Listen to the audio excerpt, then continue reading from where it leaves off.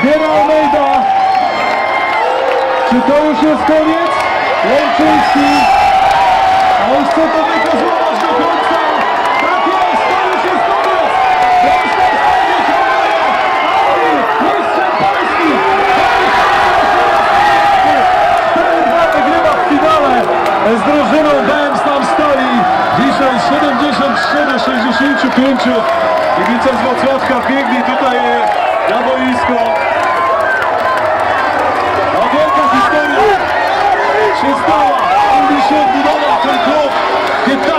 15 lat temu był mistrzem Polski, jedyny swój raz w historii. Kamil Łączyński płacze, ale Kamil Łączyński tutaj zrobił wiele, żeby to mistrzostwo dla Wrocławka odzyskać. I zawsze po ta droga e, teraz pera ad astra, do gwiazd przez trudy. E, I dla Igora Milcicza, i dla Kamila Łączyńskiego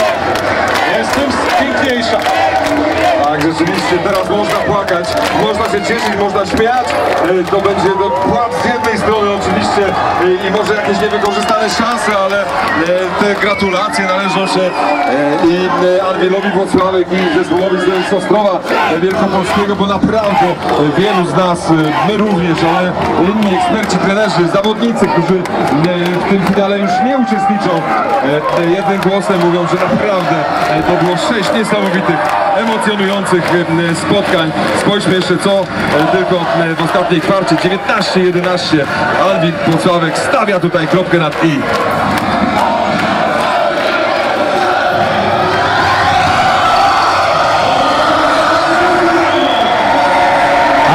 A, więc Wrocławianie, mistrzami Polski, czekamy na ceremonię.